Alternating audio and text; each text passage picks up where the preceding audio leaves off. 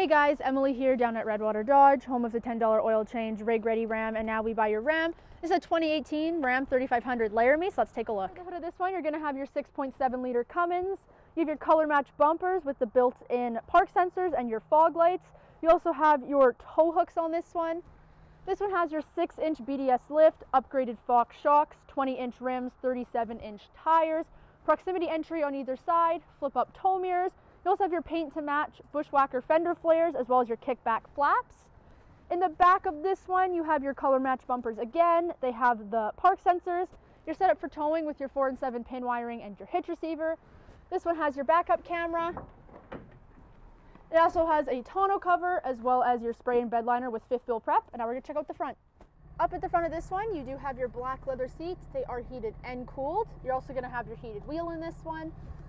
Lots of storage in your two center consoles. You have a spot to put your phone as well as some cup holders. And then in this part, you have a 12 volt plug-in.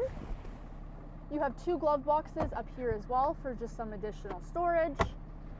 You have a touchscreen that comes equipped with navigation. And then you can control your heated wheel, your cooled seats, and your heated seats, as well as see your backup camera and your cargo camera.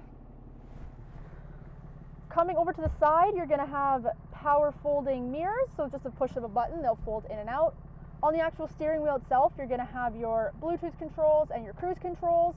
This one comes equipped with your trailer brake control, an exhaust brake, and you can turn on and off your park sensors. This one has a power sliding rear window, a sunroof, and a universal garage door opener. Now we're gonna check out the back. In the back of this one, you have heated rears. You also have an armrest in the middle that folds down. It's got two cup holders in it.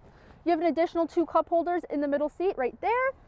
You have a 12 volt plug-in, some storage in the back of your seat pockets, as well as some storage under your floor mats.